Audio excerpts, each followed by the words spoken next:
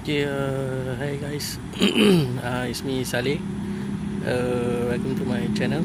Um, again, presenting to you the tarantula. Okay. Um, it's been a while. I've been flying this uh, bugger because I've been having some big problems with it ever since I go and um, modified the transmitter. Uh, the problem is I'm not sure whether it's the transmitter problem or the quadcopter problem, but I'm pretty sure it's my mistake um, due to my carelessness in doing the modification for the transmitter. Um, so currently this is the transmitter, the original transmitter, and I've uh, opened up and modified the transmitter to change the wiring to RP SMA. Uh, see again. Uh, so this one, so that I can actually install this antenna.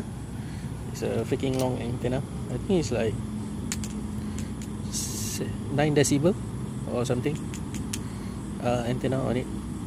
So the first project that I tried, I actually uh, made some mistake along the way.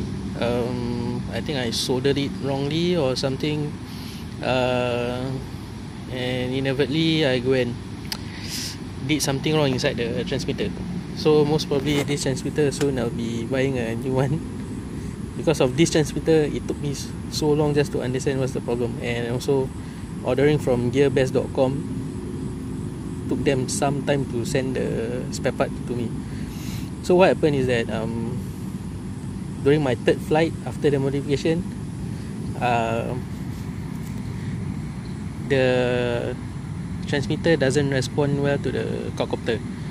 I did fly, but out of a sudden, um, the quadcopter suddenly, um, when I throttle down, the quadcopter went throttle up for no reason.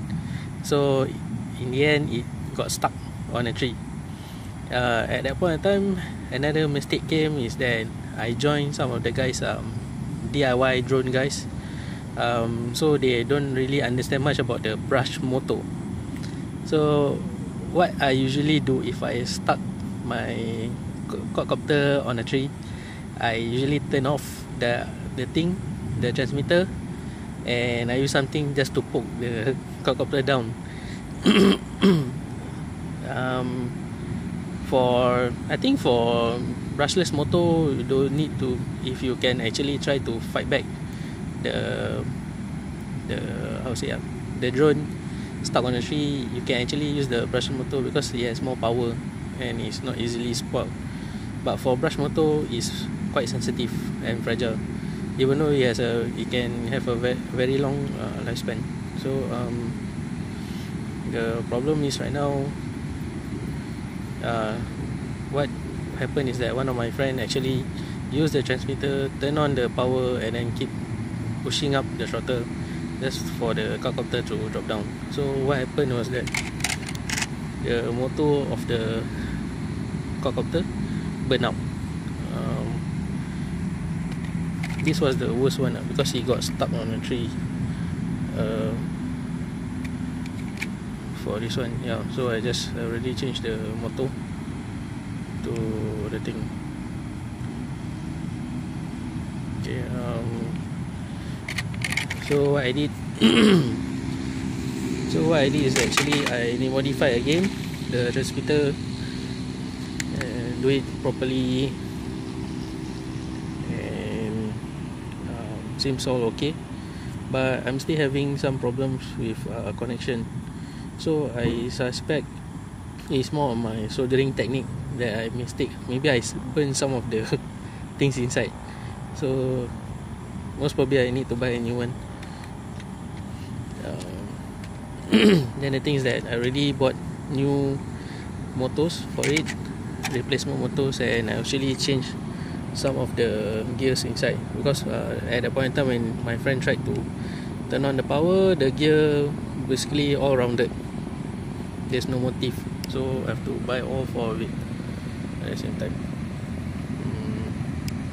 so later I tried uh, I did a test flight just now and it seems okay but I'm still having problem with uh, with uh, with the transmitter. Um, along like 50 more than 50 meter. It actually can go far but out of a sudden um, it went haywire and throttle up again. So I'm not sure why so most probably I suspect is the signal. So later we'll be doing a test flight again showing you guys uh, from the quadcopter view using my uh, SJ6000 uh, I will start this thing on the underneath it. Um, the reason I actually wanted to try my Xiaomi Xiaomi uh, camera but I rather use this one because uh, you see there's a nick there.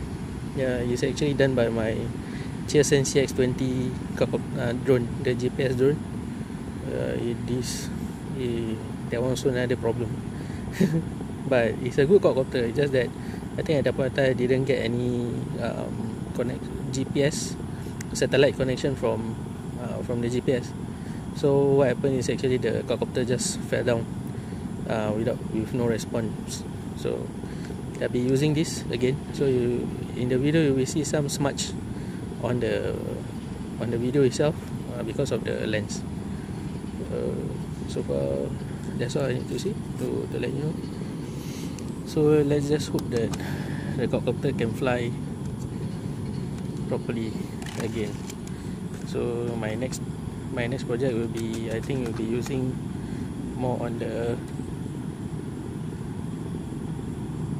how to say I think my next project will be on the transmitter. I have to buy a new one. Uh, the problem currently to get the replacement is that uh, in my country Singapore they they keep selling the whole set. Then when they doesn't want to let go spare parts. So I can actually get spare parts locally but the problem is that um, is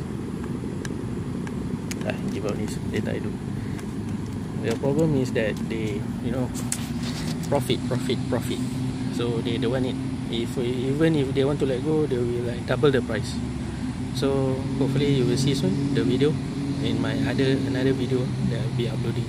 Thank you. Bye bye